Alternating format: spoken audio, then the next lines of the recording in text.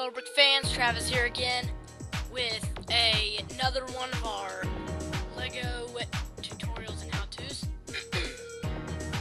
and this episode, I'm showing you how to build Lego Star Wars Bardan Jusik from the Republic Commando novels written by Karen Traviss. And, um,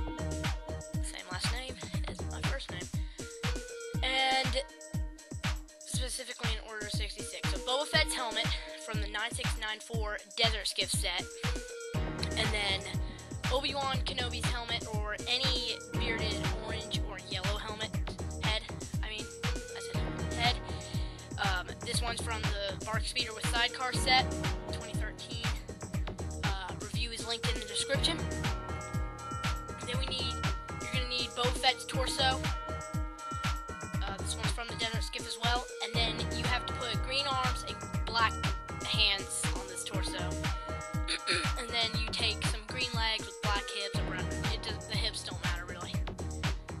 Black or brown would be best. And then a green lightsaber. So all you do have to do is just build the minifigure. So torso on top of the legs.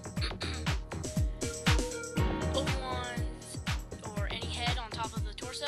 And then the helmet on top of the head. And of course give him the lightsaber. And then you have Bardan Jusik, your Jedi Mandalorian.